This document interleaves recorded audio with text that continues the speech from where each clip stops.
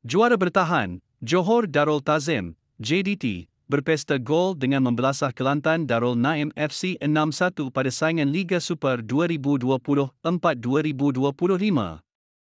Dalam aksi yang berlangsung di Stadium Sultan Ibrahim, SSI, Johor pada Ahad itu menyaksikan Harimau Selatan terpaksa berhempas pulas untuk meraih jaringan apabila dilihat sukar memecahkan benteng pertahanan Kijang Merah.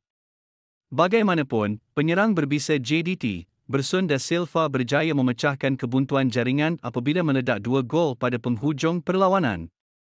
Dua jaringan yang masing-masing dicetak pada minit ke-42 dan 45 itu, sekaligus menyaksikan JDT berada pada kedudukan selesa.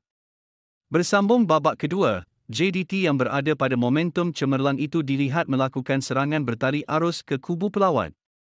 Serangan demi serangan yang dihasilkan oleh skuad kendalian Hector Bidoglio itu akhirnya berjaya apabila pemain sayap Harimau Selatan, Arif Aiman Hanapi mencetak dua gol pada minit ke-55 dan 58. Masih mahu mencari gol, Bersun akhirnya mencetak hat-trick selepas berjaya menyumbat masuk jaringan pada minit ke-71.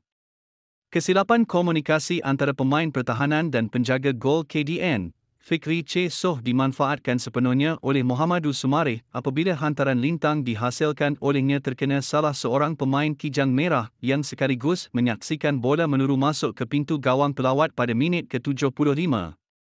Meskipun tewas di laman lawan, pengendali Kelantan Darul Naim, Park Ji Hong boleh menarik nafas lega selepas berjaya mencetak gol sagu hati menerusi bekas pemain antarabangsa Palestin, Laiti Kharob. Aksi yang berlangsung di SSI itu sedikit lengang dengan penyokong seakan-akan sudah tahu kemenangan berpihak kepada JDT.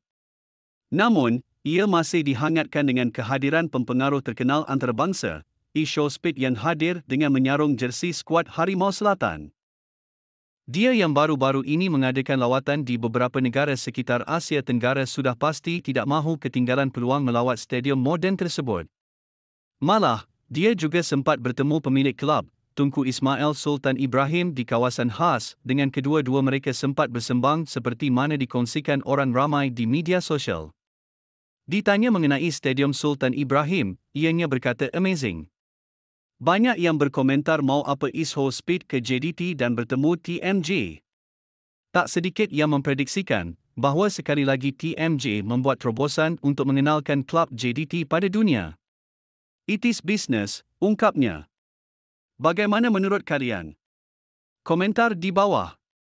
Kemenangan JDT itu juga menyaksikan mereka mengukuhkan lagi kedudukan di carta Liga Super dengan kelebihan enam mata dimiliki berbanding pencabar terdekat, Selangor FC. Akhirnya sekian informasi kami buat, semoga bermanfaat. Jangan lupa subscribe.